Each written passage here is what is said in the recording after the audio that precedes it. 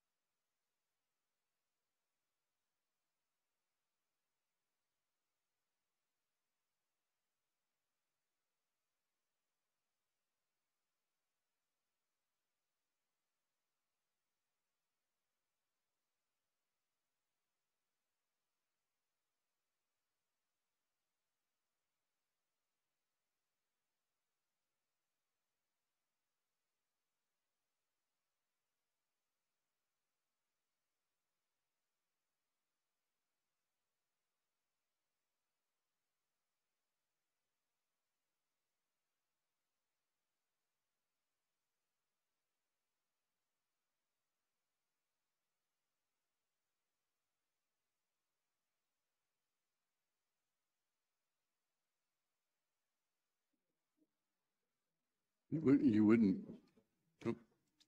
Ready? Good evening. Welcome to the City of Sugar Land City Council meeting for Tuesday, August the 16th. A little bit about the agenda tonight. It's going to go pretty quick. We're going to have the invocation followed by the pledge to the nation's flag, and then we'll get to the business of the city. Naushad, invocation and the pledge. Please join me as I pray. Dear God, as we gather here today, let me start by thanking you. Thank you for all your many and abundant blessings. Thank you for life itself, for the measure of good health, and for friendship. As we begin our fall school year for our youngsters, please watch over our students, teachers, administrators, and everyone involved in educating our children. God, we also keep, ask that you keep all of our men and women in the armed forces, our first responders, and healthcare heroes safe. We also ask that you keep those affected by the recent floods in Kentucky close to you, as we know you have a plan for all of those who were affected. Also, keep those helping them on the ground safe from injury as they work to restore normalcy in their lives. Please guide us and our staff as we make decisions to elevate our city to an even, higher status. We ask that you continue to guide us along the right path and keep us under your protection and grace. In your name we pray. Amen. Amen. I pledge allegiance to the flag of the United States of America and to the republic for which it stands, one nation under God, indivisible, with liberty and justice for all. Thomas, we're going to move to item number two, public hearing, public comment. Anybody signed up? No, sir, we have no pre-signups. Anybody from the audience that would like to talk on one of the agenda items that's not listed as a public hearing? Move on to item number three, consent agenda. All the items in the consent agenda will be taken in one motion unless a council member pulls an item, at which time we'll take that in a separate motion. Do we have a motion? Got a motion by Jacobson, second by Kermally. Vote at this time, please.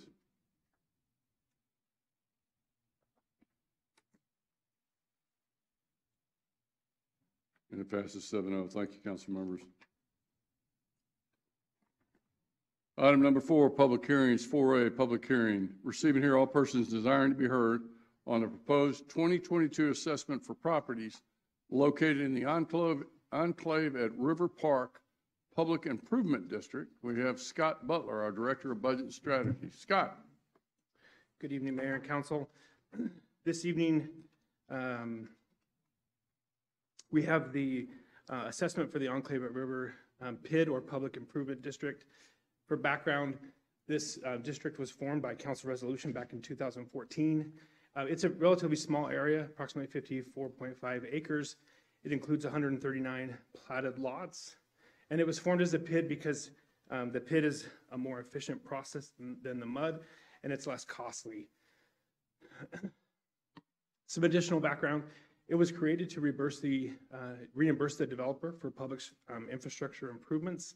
The assessment is not for new amenities or new infrastructure. The assessment is significantly less than in-city MUDs um, and other taxes that are paid by residents in other areas of the city. Buyers within the PID are required by law to be notified of the PID's existence and the assessment as part of the closing process.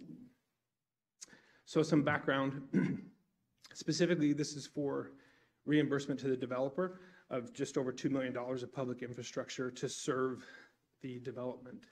The developer met the obligations in January of 2019, and there was sufficient um, fund balance created to be able to issue the reimbursement to the developer. The infrastructure is not covered by city property taxes, and it is not the respons, it was not the responsibility of the city to construct um, the improvements initially. And, but the infrastructure has been conveyed to the city for maintenance purposes. And, and then annual assessments um, to the properties um, are, are used to pay the debt service over 15 years. And then once that um, obligation is met, then the assessment will cease. The, the 2022 proposed assessment is $430 per lot. This represents a decrease from the 2021 assessment of $30, and it is billed by the county as part of the uh, total assessment for the lot. This chart just shows you a brief history um, in terms of the planned, not only the payments to date, but the planned reduction over time until the obligation is satisfied. You can see where the uh, assessment started in 2015 compared to where they are now. This is to provide you a comparison of when we talk about the efficiency of the PID versus the assessment for the MUD. So the, the county assessment is the same, the school assessment is the same, the city's portion in terms of property taxes is the same. It's that last portion in the green that shows what the PID assessment is at the bottom uh, versus um, a couple of MUDs that are in, within the area there. And so this represents a bargain, a, a bargain, if you will, um, in terms of the less administrative costs um, to administer the PID. Notice was sent to property owners back on August 3rd. Um, It includes the notice of public hearing, um, and then a letter was also mailed to explain to the property owners and remind them of the purpose of the PID. So the next steps is the public hearing uh, tonight on the proposed assessment for 2022, followed by the first reading of the assessment ordinance on September 6th, and then the second reading on September 20th. So this time we recommend a public hearing and then council, council if there's any questions. Yeah, council, I think we'll, we'll have the public hearing first. And then if there are questions, it's not an action item tonight, so we'll hear, if you have any questions, we'll get those answered, and then we'll take it up uh, at our next meeting, or on the meetings that Scott said. At this time, we're going to open the public hearing for anybody desiring to, to be heard in this particular agenda item. And we have no advance signups, Mayor. And nobody signed up, okay. Second call. This time, we're going to go ahead and close the public hearing. Council members, any question? Everybody clear? Thank you, Scott. We're going to move on to item number five, tax record vote. Five A, consideration of an action on setting the City of Sugar Land proposed 2022 tax rate, setting a public hearing and directing staff to publish the notice of proposed 2022 tax rate. Uh, Ms. Jennifer Brown, our Director of Finance. Jennifer? Thank you, Mayor. Evening. I have to move that microphone down very often. Um, We're here this evening to um, discuss a proposed tax rate for the 2022 tax year. Um, I have provided some updated information um, since our workshop on Thursday. Um, One of the items that you all had asked was, could we get the breakdown of our comparative cities between their operations and maintenance tax rates and their debt service tax rates? So I have taken the cities that we presented on Friday, which were in the TML tax and debt survey, and I've went um, and added a few survey, few cities that didn't normally would respond to the survey but didn't this year, um, and have just put those out here for comparison purposes. Um, you can see ours is in the orange and blue, the third one from the right.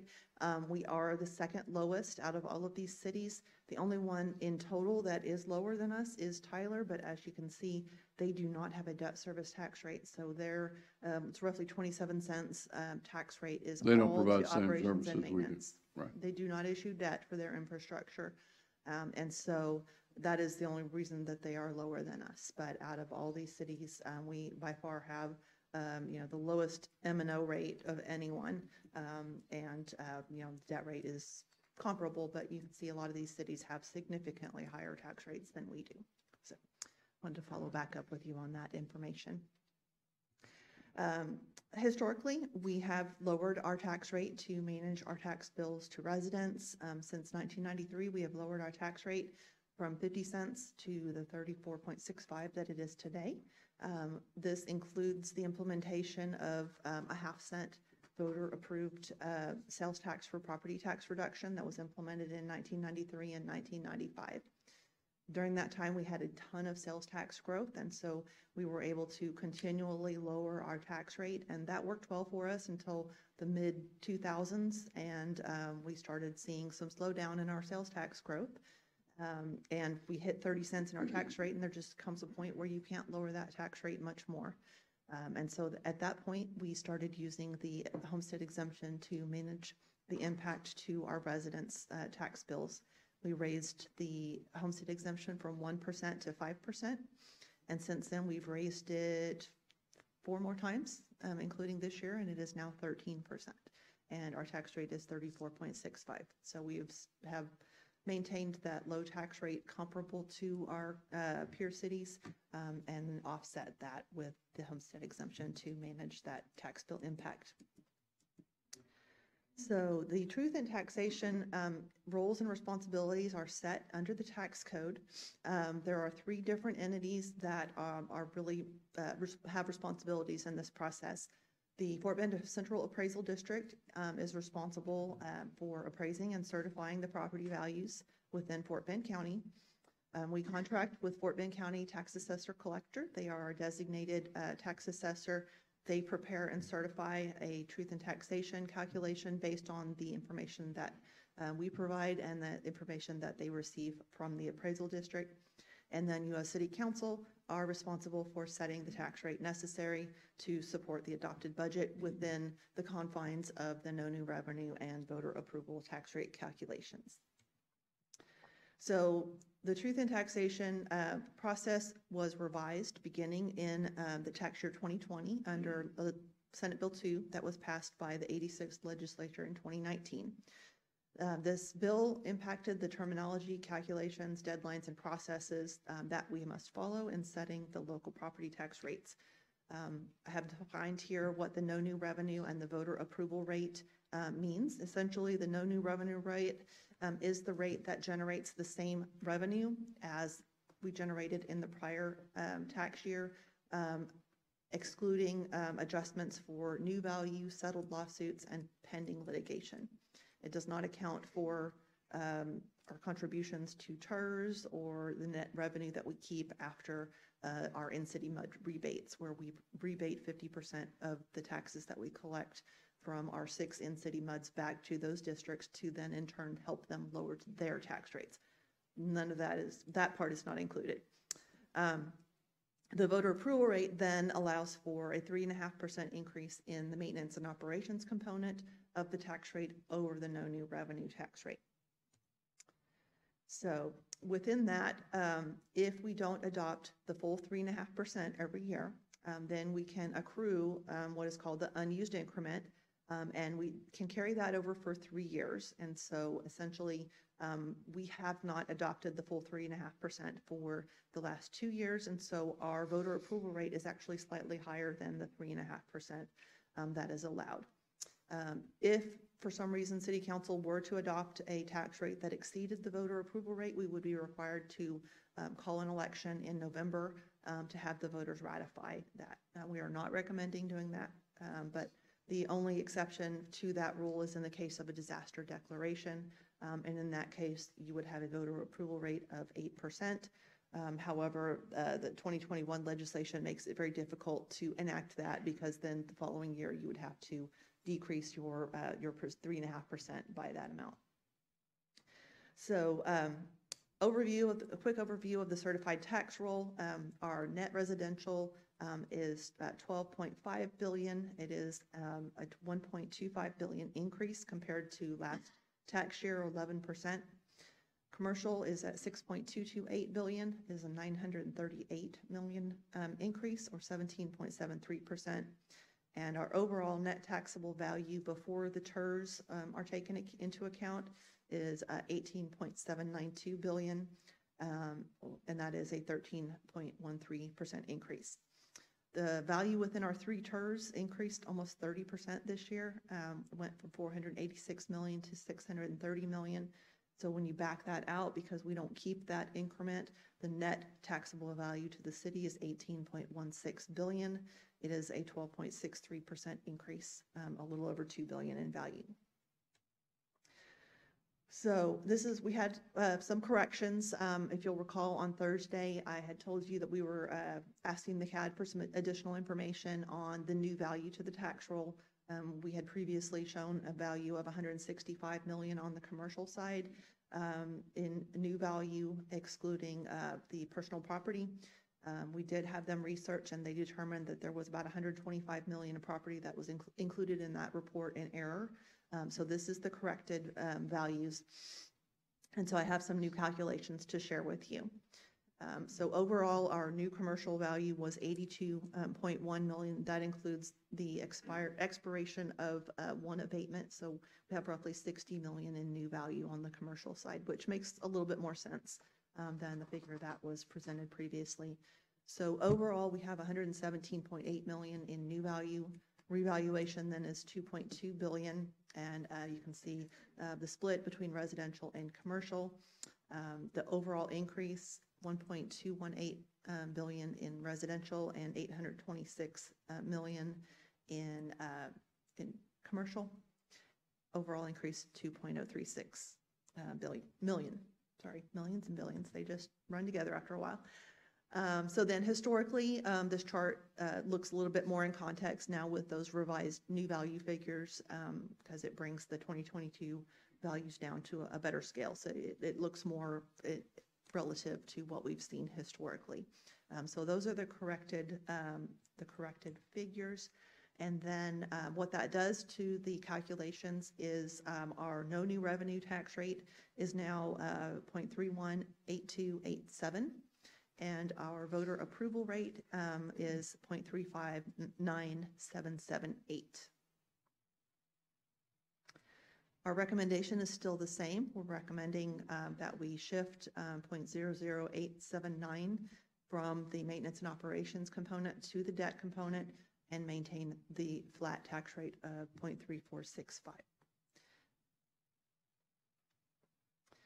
The overall impact to our residential tax bills, um, the average home value citywide, this is going to include those with and without a homestead. So it could also include some values that, homes that are not owner occupied, um, went from 384,000 to just under 422,000. It is uh, roughly a 9.8% increase.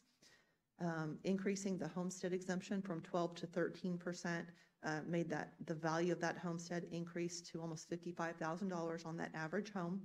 And then the taxable value is now 367,123 um, compared to 338 to 29. Um, The tax bill impact, um, it goes up uh, right at $100. It's like $100.12. Um, And that, uh, so it buys down that increase from 9.79% to 8.54%. Obviously, this is going to change based on everyone's individual situation, but this is based on the citywide average.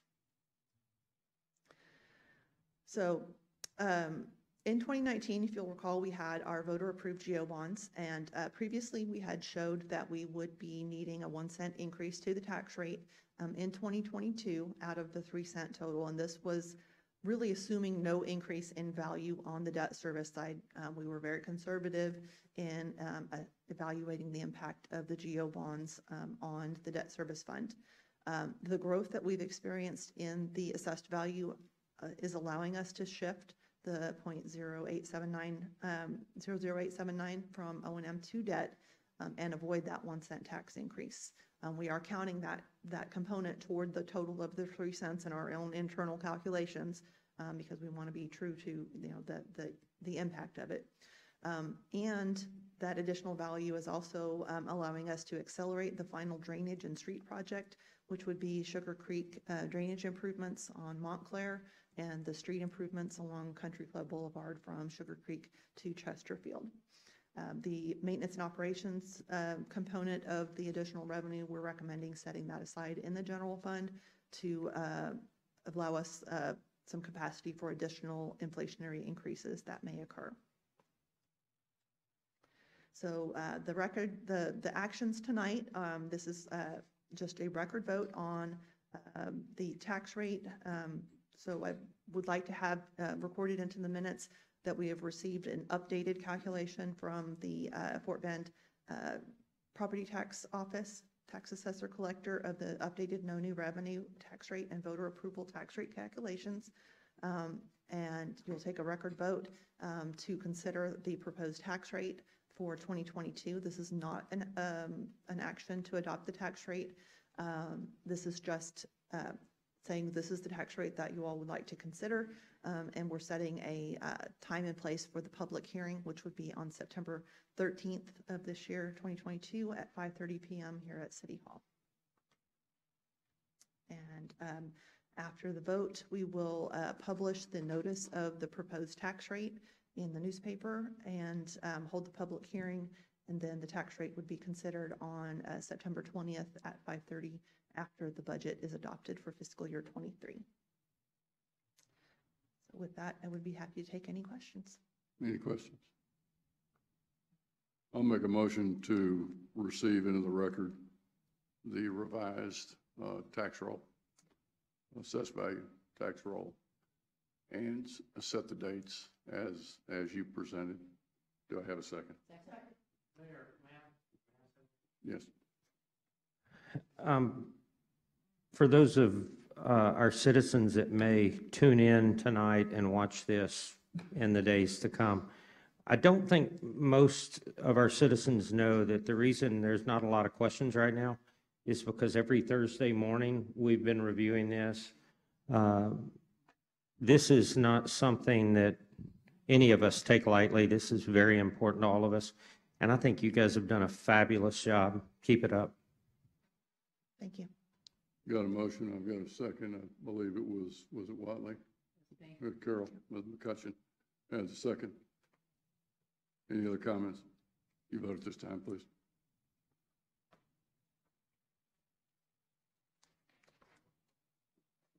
And it passes seven zero. Thank you, council members. Item number six, ordinances and resolutions, six A, fi- first and final consideration, consideration of and action on City of Sugar Land ordinance number twenty-two seventy-six, an ordinance authorizing the issuance of City of Sugar Land, Texas, combination tax and revenue certificates of obligation, taxable series 2022. Ms. Jennifer Brown. Jennifer. Thank you, Mayor. All right, so we are here this evening um, for the uh, issuance of taxable COs. Um, I'd like to give a little background um, behind the project and why we're issuing the certificates of obligation. Um, And so uh, we do issue uh, debt for our capital projects to, um, we, to fund capital improvements where we can't prudently pay cash for those. Um, The issuance of debt allows us to spread the cost of the improvements over the useful life so that today's residents are not responsible for the full cost of the projects that will benefit future generations. Um, This also allows us to allocate our available res- resources to the high priority projects um, and get multiple projects done at one time. Um, We are actively seeking out low-cost loans and grant opportunities, and this is one of those, as well as participating in interlocal funding agreements, which we talked about during uh, Thursday's uh, budget workshop, when we talked about our partnerships with Fort Bend County and the mobility bonds. Um, And so we are actively seeking out um, joint participation in those types of things. So uh, for this loan, in 2021, staff applied for a loan from the Texas Water Development Board um, for the Oyster Creek Diversion Channel. This uh, channel is, uh, would be improvements in tract, the former uh, Central Prison Unit known as Tract Two. Um, There's property there that is within the 100-year floodplain. Um, This will get that property, including some other existing city property um, and our airport um, portions of that, um, out of the floodplain and allow development to occur. Um, It's a great program. It's the Flood Infrastructure Fund. Um, It is a 0% interest, uh, 30-year repayment. Uh, The principal amount on this particular issue is 27.5 million. It will cover design, construction, and issuance costs for this uh, particular issue. And um, over the life of the loan, we're saving about $14 million in interest costs compared to market rates. The Water Development Board approved our application on June 9th, and uh, we have included this project in the fiscal year 23 CIP for appropriation. Um, Why are we issuing COs instead of GO bonds? Well, we did not include this project in the 2019 GO bonds. Um, where We had a lot of other real high priority uh, protecting uh, structures from flooding. Um, Those were the highest priority projects, 47.6 million or so that were included in the bond election. Um, This was not on our, on our radar at that point, um, but we do have in our uh, financial management policy statements where we have the ability to issue certificates of obligation um, when we are leveraging funding from other sources or being advantageous of low-cost loans. Um, And so uh, when the Water Development Board approved this in June, um, we uh, triggered us that it- we had to start the process to issue these COs.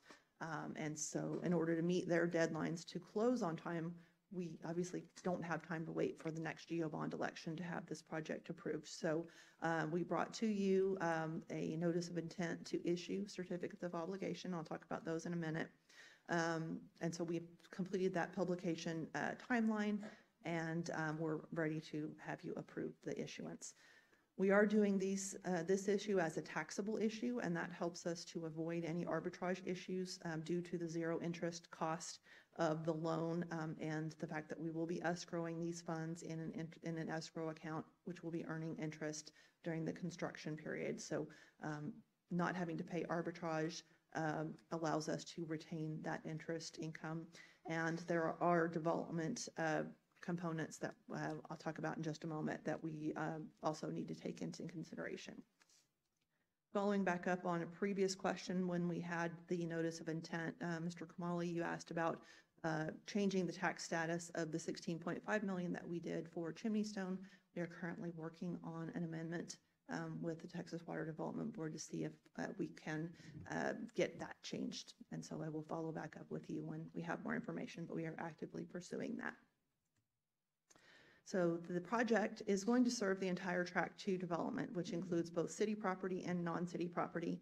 Um, Jim Calloway is um, working hard on agreements um, that will ensure that the developer pays their share of the project. Um, It is advantageous to the city to secure this low-cost funding for the project to facilitate the addition of this value to our tax roll. And then any future development agreements will define the developer's responsibility. Um, They've already, I think they've already figured out the percentage of their share.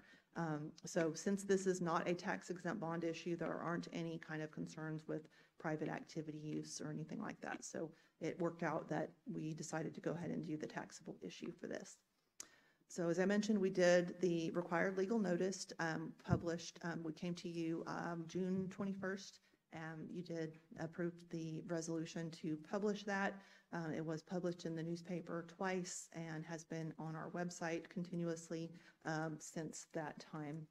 And um, that notice included this information. I won't read all of this. Um, This is all set by state law. So there's a lot of information that gets put in, in that notice. So this evening, we're here um, to ask you to approve ordinance number 2276, which will approve the city's participation in the flood infrastructure loan program for 27.5 million through the issuance of taxable certificates of obligations. Um, The bonds will be repaid over 30 years. Um, We will have, uh, we have to get the signed ordinance to the Water Development Board by Friday, um, the 19th. And we have scheduled closing with the Water Development Board for September 13th. And then those funds would be deposited into our escrow account. And I do apologize for the font. I messed up and made it too big. Um, With that, I would be happy to answer any questions. I have uh, Joe Morrow, our financial advisor from Hilltop, and Justin Hicks is here from Andrews Kurth um, to back me up. Any questions from the council members? Do we have a motion to approve? We got a motion by Jacobson. Do I have a second? Second by Lane. You vote at this time, please.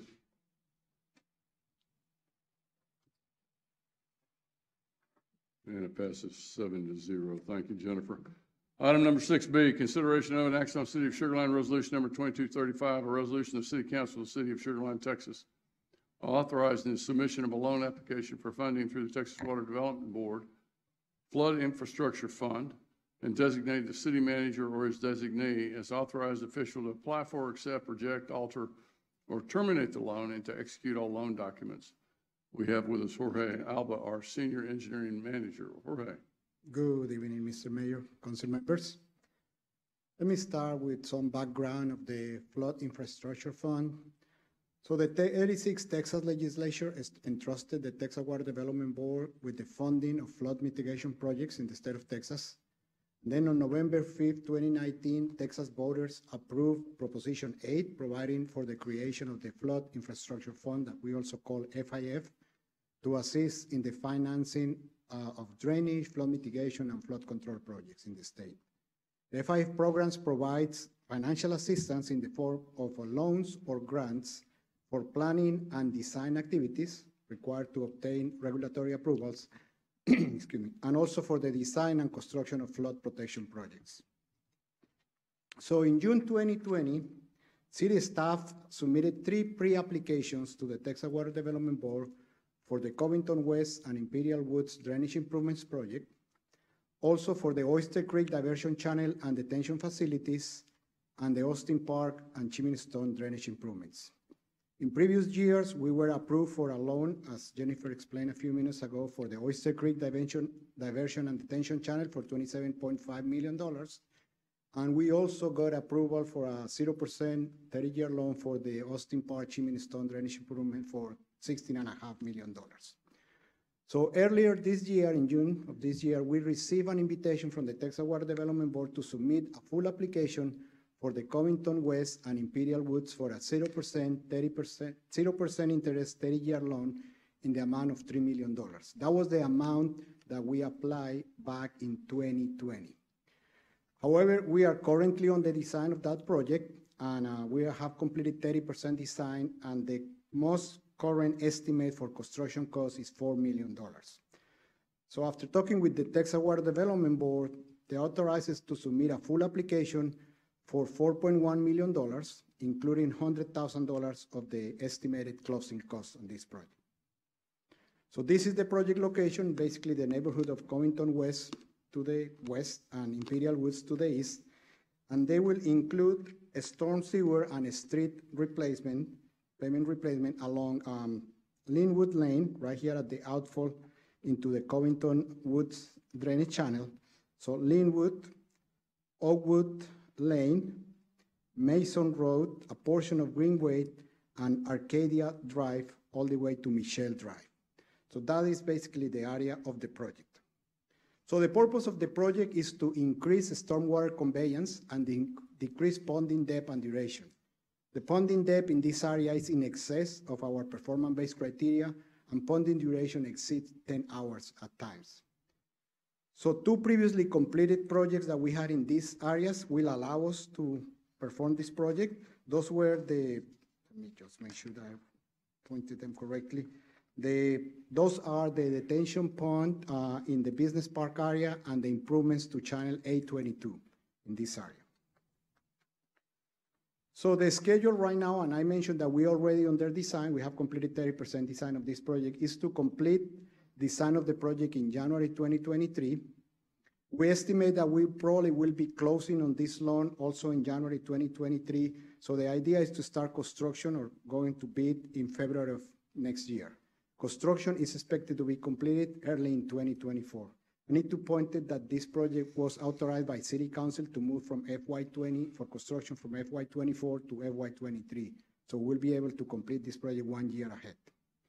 So the funding strategy that we have been working very in close hand with uh, Jennifer and the financial department, basically we have a $3 million included in the 2019 GO bond. Uh, we are applying for $4.1 million for construction. So we will have to issue one and a $1.1 million in COs to cover the cost increase. But also we, we can use savings from other drainage projects. And I want to mention that the financial office have determined that we will, at a 4% interest rate, we probably will save $2.8 million in the 30%, uh, in the 30 years of the loan. So with this city staff requests city council to approve resolution number 2235, authorizing the submission of a loan application for funding through the Texas Water Development Board uh, Flood Infrastructure Fund, and designates the city manager or his designee as authorized official to apply for the loan and execute all loan documents as may be required by the Texas Water Development Board. So I'd be happy to respond any question from city council. Sure. Thank you, Mayor. Jorge, I just want to make sure I understand, please. So um, we've got, we're going to issue $3 million of GO bonds, and then we're going to issue $1.1 million of CO bonds, and then hopefully we'll get the, uh, the 0% loan, and then will we refund the CO bonds, or what do we do with the GOs and the COs? Or do we just a- apply that money to other projects, or what? I'll take this one. Thanks. Um, we actually, uh, will issue, like we did this evening, we will wait until we get the approval of the loan and we will issue it as a private placement, um, to the Water Development Board, similar to what we did tonight. Follow up. Okay, Okay, s- okay, so, so, so we are going to issue the $3 million plus the uh, GOs plus the 1.1 COs?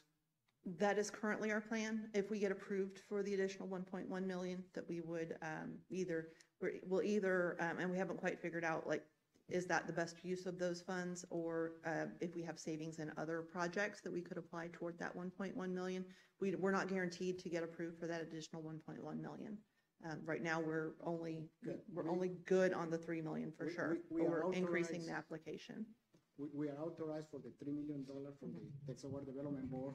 But after we explained the situation with the inflation cost in construction materials and everything, they recommended that we still apply for the four and a, four point one million dollars. Oh, okay, so we're not actually going to go ahead and issue GO bonds for the 3 million? Not yet, no. Okay, got We it. would, we would be back in probably December, January. Um, Okay. Whenever we get the final approval, then we'll come back. Um, We will have to, if we do issue the COs, we'll have to do another notice um, with the 45-day publication and all that. So um, it'd be a little while before we do that. Okay, thank you. Jennifer, what have we, when you look at the Texas Water Development Board loans that we've received now, and this is, the this will be the This will be third. the third one. What are the interest savings in total? Um, The first one Estimated. was uh, seven, and almost 8 million on the first one. Um, This one that you just approved tonight was 14 million, and then the, I estimated uh, about 2.8 million on this one if we're approved for it. So seven, fourteen, twenty-one, So about about about 25 twenty-four million million, dollars 24, in 25 interest savings. That's a savings to the taxpayer by, by going through the water development. Yes. Pretty significant. Uh, Suzanne? Thank you. Well, you just asked the question I had, so thank you for that. But I wanted to thank you, I've been working with Jesse as well, so thank you for finding alternative sources and also for moving this forward. I know we talked about two years from now, and you moved it for at least two years ahead of time, so thank you. And with that, I'd like to make a motion to approve. I've got a motion by Whatley. Do I have a second? Second. Got a second by McCutcheon. You vote this time, please.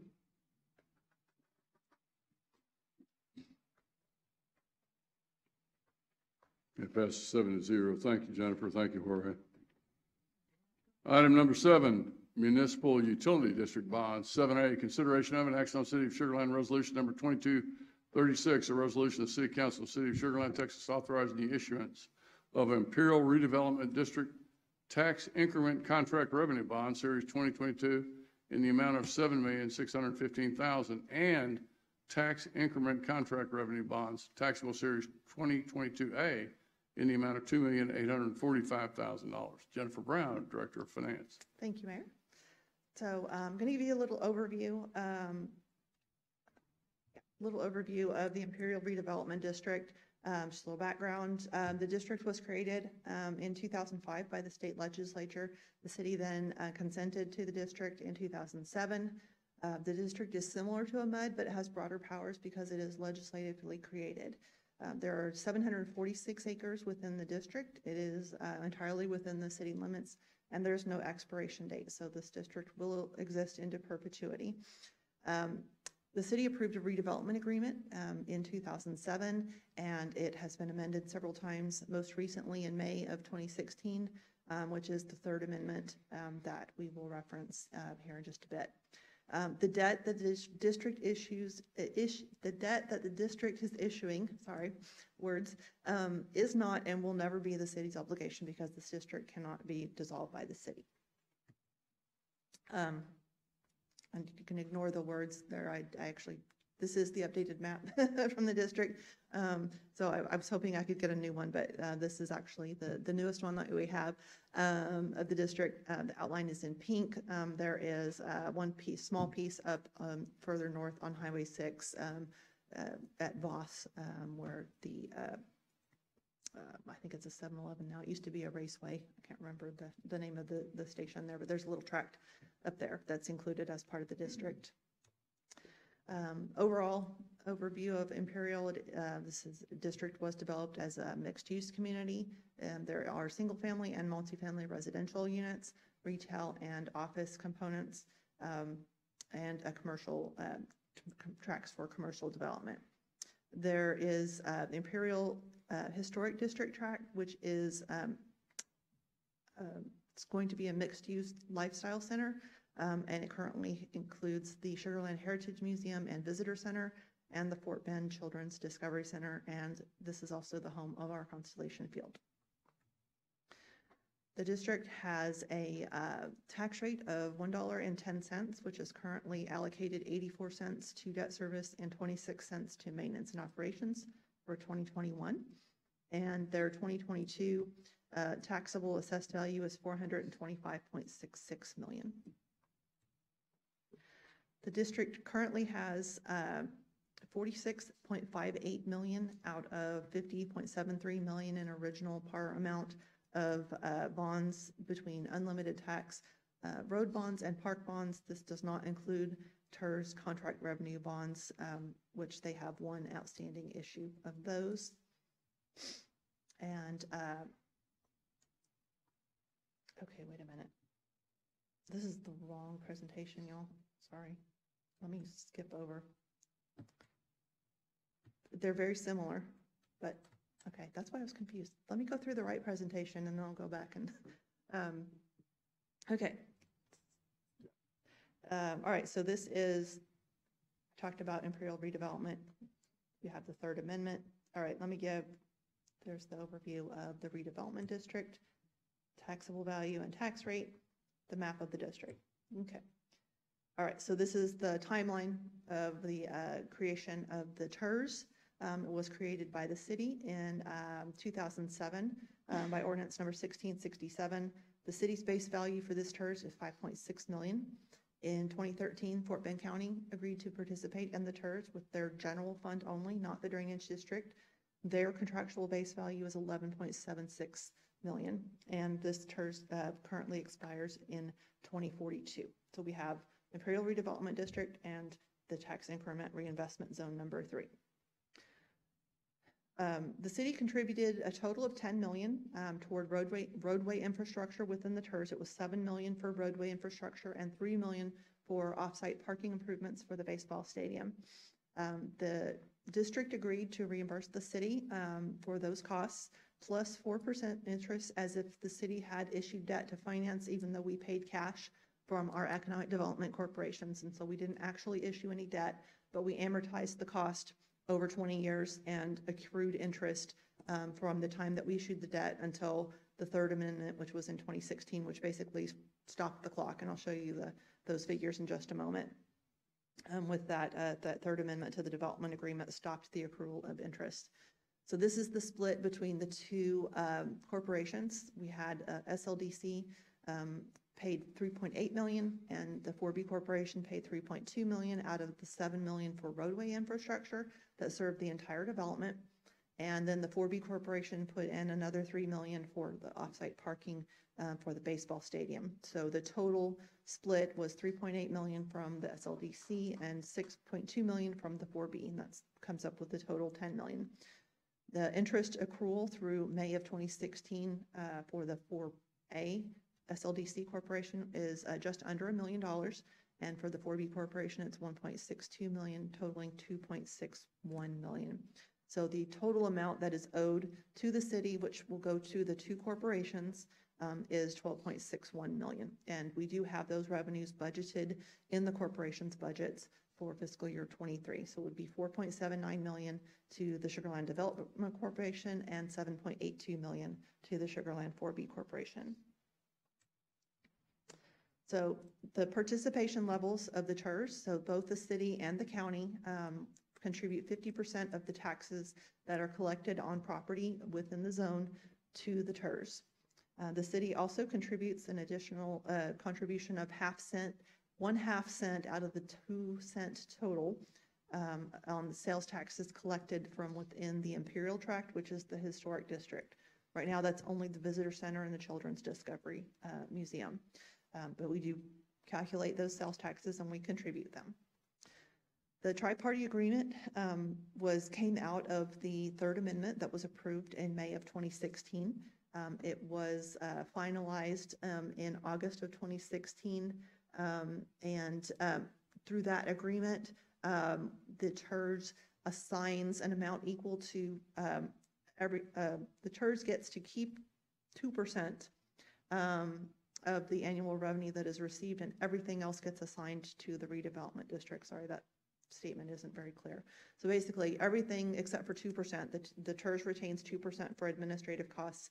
Um, The other 98% gets assigned to the district.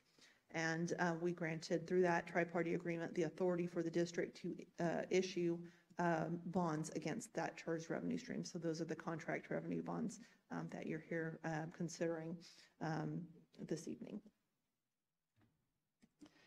So the Third Amendment also outlined that the district was responsible for 14.93 million of the uh, costs associated with University Boulevard North um, extension um, into the district from 90A.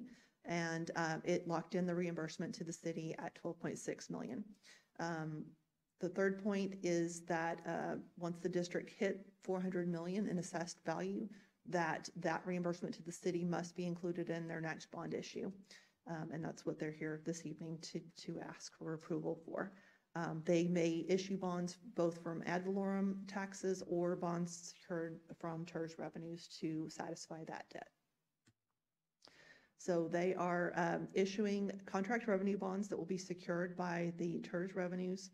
Um, And they are splitting them between um, the Series 2022, which is a tax exempt issue, and the Series 22A, which is a taxable issue. Um, And that was uh, at the, on the advice of their bond counsel because a portion of the baseball uh, stadium parking is, has some private use associated with it. So they wanted to make sure that they didn't run into any issues with that. Um, And so they're using, using both uh, the taxable bonds and reserves to fund that. So um, the total being paid to the city is 12.614 million. Um, The total bond issue requirement is 10.446 million. um, And they're using about $3 million of cash on hand um, to, to make the difference after issuance costs. So the recommended action for this item is approval of res- resolution uh, 2236, authorizing the issuance of 7,615,000 in tax increment contract revenue bonds, Series 2022, and 2,845,000 in tax increment contract revenue bonds taxable, Series 2022A. And with that, I would be happy to answer any And questions. Jennifer, I think you have some people from the Imperial Redevelopment District. Yes, sir. You have former Mayor Thompson, I think he's Yes. president of the board, and then you have bond counsel. Yes, I think and their there's a- financial advisor, Spencer Day, is financial here. advisor, Right. Council, any questions of Jennifer and or the IRD? Stuart? Thank you, Mayor. So Jennifer, wh- what, uh, what ratings are these uh, various issues going to uh, carry? We're going through the rating process right now. We expect to have. Up here. Yeah. And go ahead and identify Yeah, yourself. in Spencer. Day with uh, Masterson Advisors, financial advisor for the district. Uh, We are going through the rating process with Moody's right now. Uh, The the TIRZ bonds have not had a um, rating in the past, so this will be their first rating. We can't say for sure where that's going to land. Um, We're hoping it'll be in the BAA3 range, Okay, but we should get that rating back tomorrow. okay, thank you.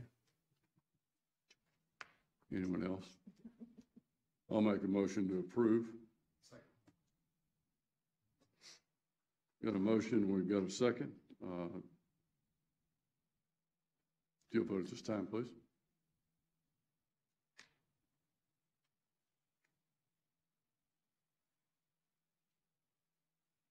And it's approved unanimously. Thank you, Jennifer. Item number seven B, consideration of an action on City of Sugar Land Resolution Number twenty-two thirty-seven. A resolution of the City Council of the City of Sugar Land, Texas, authorizing the issuance of Imperial Redevelopment District's unlimited tax park bonds, Yeah. Series 2022A, in the amount of $6,225,000. Jennifer? All right, so since I've already started on this presentation, I'm going to make this one fairly short. I do apologize, these two got confused in the, in the, the sorting. So, um, all the same information, um, the only thing you don't have in this, uh, in the mix here is the TIRZ revenues. Um, so we have our, um, overview of the development, same tax rate, same tax base.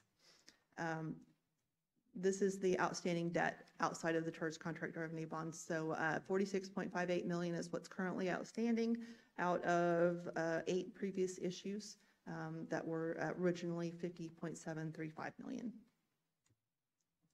This series um, is park bonds, and it is going to reimburse the developer for parks infrastructure for the areas listed here. Um, And again, these are um, facilities that would never become city facilities. We have no concerns with uh, reimbursement for um, any of these items.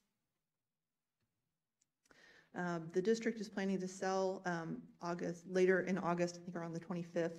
Um, And uh, so staff has reviewed this proposed issuance. Um, It does comply with our uh, Resolution 11-07. Um, It is extending the maturity schedule of the district by one year, um, but that is consistent with what we have been doing with this district since um, the development has had a gap and then has, has been a little slower than originally anticipated. Um, And so we have, as they've come each year, have allowed them to extend that maturity schedule by one year. Um, It is also consistent with the Third Amendment to the redevelopment agreement. With that, um, staff recommends approval of resolution uh, number 2237, authorizing the issuance of 6,225,000 in Imperial Redevelopment District Unlimited Tax Park Bonds Series 2022. Any questions? Motion to approve. You got a motion by Whatley, do I have a second? Second by McCutcheon. You vote this time, please.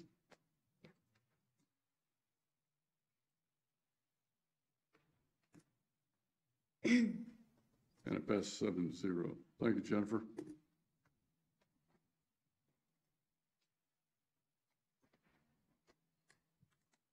This time, we're going to move to item number eight, City Council City Manager Reports. Eight A, City Council Member Reports. Suzanne, let's start with you. I Knew you were going to do that. I'm not ready, but I will say that uh, we attended uh, Sunday night, uh, Smart Financial Center with Methodist, and we saw Rick Springfield, and yes, he did take off his shirt. With that, I'll pass it on. Carol, let's go straight to you. Well, I thought you would cover the Sugarland Firefighters Ball pre-sponsor party at the Golf Home. That was a really great event, and we're really excited about the firefighters gala coming up next month. And I attended the Fort Bend County Lid 2 workshop, which was not nearly as exciting as that. And then Councilmember Kermally and I attended the Indian American PAC elected officials reception at India House. Naushad? Thought you weren't going to call on me today, Mayor. Um, Mayor, you and I. It's his uh, birthday. His birthday is coming up. Thursday, Thursday. Thursday, How old will you be? 28. 51, 51 big Yeah, candles. yeah, yeah. Um, Mayor, you and I, uh, last Thursday attended, uh, in Houston, uh, the preview of the Ismaili Center Houston, uh, where we had the opportunity to me- meet His Highness Prince Amyn. Um, Aga Khan was there, and, uh, it was just a very, very nice, uh, uh, building that's coming in, in the city of Houston on Allen Parkway in Montrose, and uh, there was a lot of congressmen there and women. Uh, Mayor Houston, uh, Mayor Turner was there, and several other dignitaries, but uh, it was a very nice event. And uh, several of us also attended the museum Mix and Mingle uh, last week in District Two.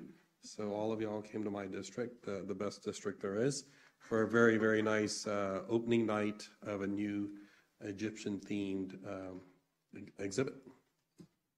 Stuart, let's go to you.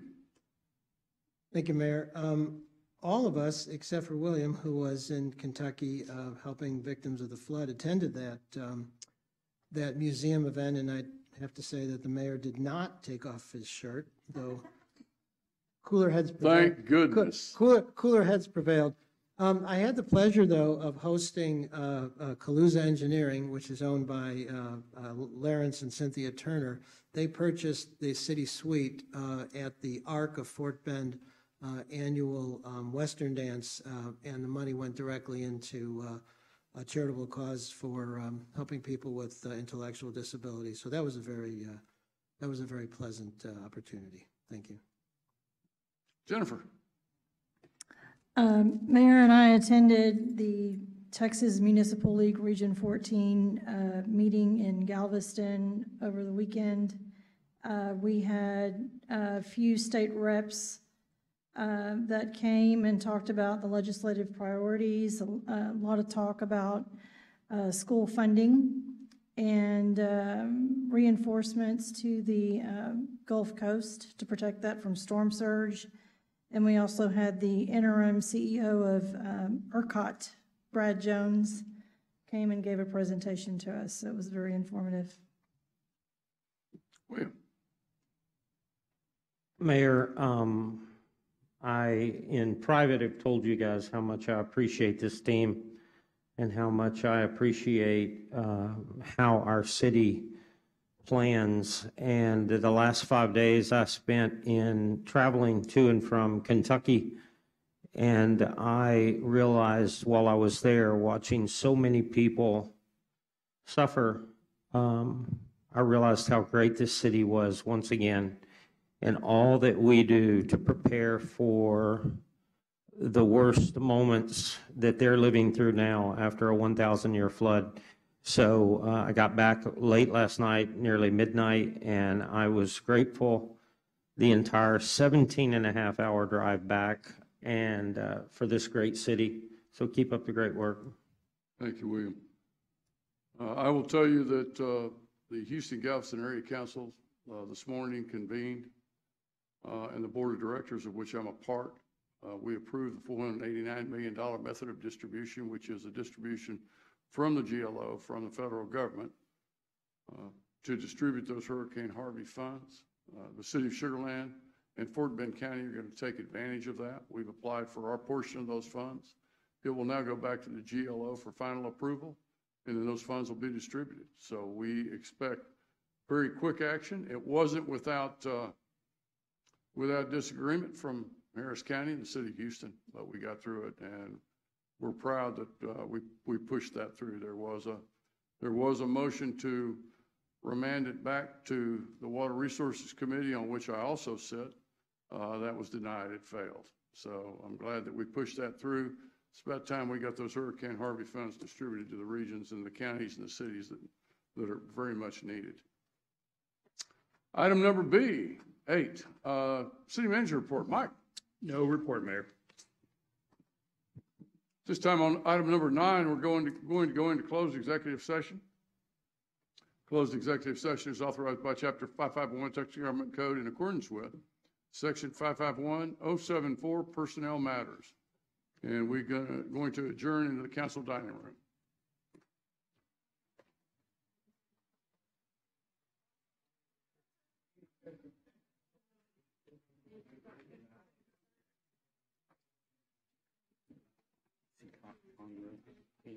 Recording stopped. Oh, okay. Pretty, pretty emotional, dude. It's, it's just, an- yeah, I'm not sure what happened, but. You know, it looked like he was there. Yeah.